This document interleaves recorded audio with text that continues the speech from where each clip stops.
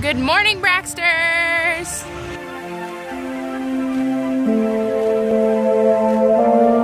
Okay, so you're probably wondering why I'm outside and it's morning time. um, they're actually working on my parents' house this morning and I think they're doing something with the porch, but they've got a lot of different trucks and stuff up in their driveway, but it's also in my driveway, so I cannot get my car out. And me and Braxton had planned on going to get diapers today and dog food, but we can't get the car out. So we are walking to my grandmother's house because luckily I leave a lot of diapers up there because we go visit her so much. But it's not like they won't move their car. I'm sure if, you know, I went up there and asked them to move, they would, but I just don't want to bother them when they're working and everything. Look how cute I am today. Yeah? So I got my tennis shoes and my dinosaur shirt and my dinosaur hat. All the clothes that he has on right now are actually on the clothing haul that I'm going to post here in a little bit. So if you're watching this video and you haven't watched the clothing haul yet, I will leave a link in the description below. I got him so much stuff.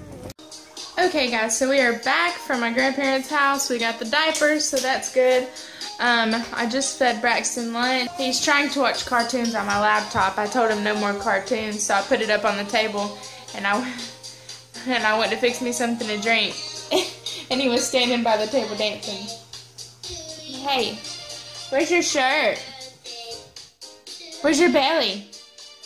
Is that your little belly? Show him your belly. Is that your little belly? Is that your belly? I took his shirt off before he ate because I didn't feel like him getting ketchup all over it and staining it already since it's the first time he's wore it. Now I am, oh, where are we going? Where are we going? Oh, this is his new thing, pulling you when he wants something. Okay, okay, I'm coming.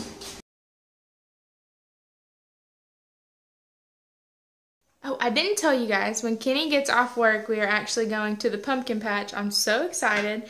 And I'm trying to figure out what I want us to wear because I know I'll be taking a I know I'll be taking a bazillion pictures. I know I'll be taking like a bazillion. Is this real life? I know I'll be taking like a bazillion pictures and I want our outfits to kind of coordinate, but I also want Braxton to be really comfortable because I want him to be able to enjoy himself. So I've just got to decide what I want us to wear. Kenny's home. So I have decided that I'm just going to quit announcing at the beginning of the vlogs what we're doing the rest of the day because nine times out of ten we don't end up doing what I said we were gonna do. But this time, the reason why we're not doing what we're supposed to be doing is because of this right here. We originally were gonna go to the pumpkin patch tomorrow anyways, but Kenny uh, called me on his break and said let's go today. So I assumed that he had already looked up what time that they were open and all kind of stuff, but since it's like the later in the day, they start like kind of like the adultish pumpkin patch where like people are dressed up in costumes and I just don't think he'll have fun doing that and I don't want to scare him. So hopefully we're going to go tomorrow, which works out better anyways because my parents will go too and he'll be able to actually play on the playground and, you know, all kind of stuff. So it works out better anyways, but He's still in trouble. I'm just kidding. And if anyone is wondering how his um, gum is feeling, it actually doesn't hurt, does it? Yeah, he said it doesn't hurt at all anymore, so I guess he should have just pulled it with tweezers sooner.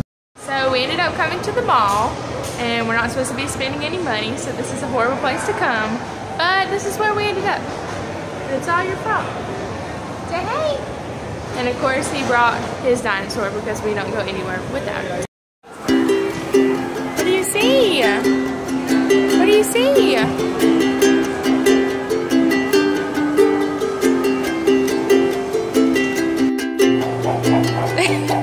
Does he like it or not like it? What are you doing? What are you doing?